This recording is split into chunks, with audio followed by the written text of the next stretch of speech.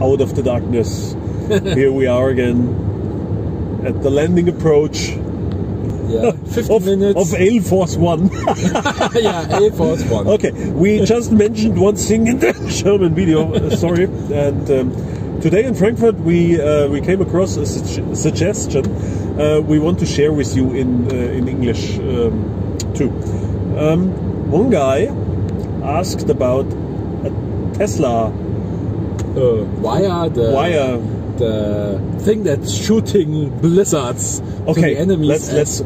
You remember Command and Conquer, yeah? The older ones maybe remember, yeah. You have these these uh, point defense systems. Okay, of, that was laser, of, but of, of, of Tesla. Um, oh, Te- Tesla, yeah, have it as well as Tesla. yeah, right, right. and um, someone asked as a as a docking point system for an airship to put some these, these Tesla, Tesla system, uh, system um, to to shoot at passing aircraft, Yeah, for example. just one tile around, so really close, not near distances, one to three tiles. We are really talk about close, just in the neighbor fields of the airship. Yeah, and if you if you push the red button, for example, then It's you un- unleash um, these um, these these Tesla energies, and you put aircrafts out of action.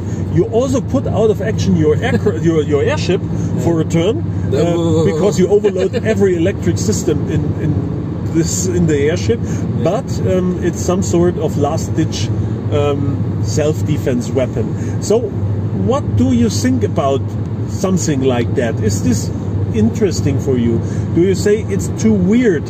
Um, we don't need more weird things because we are absolutely satisfied with the weird things you did so far? Or do you say that's More the weird stuff, best idea stuff. since the invention of Electricity. electricity? Uh, we need this. Uh, don't Who this. needs light? Whoops!